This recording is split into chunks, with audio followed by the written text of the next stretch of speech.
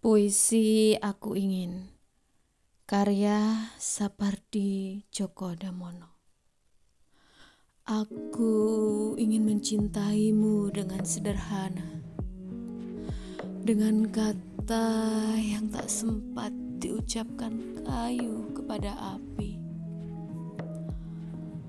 Yang menjadikannya abu. Aku ingin mencintaimu dengan sederhana dengan isyarat yang tak sempat disampaikan awan kepada hujan yang menjadikannya tiada.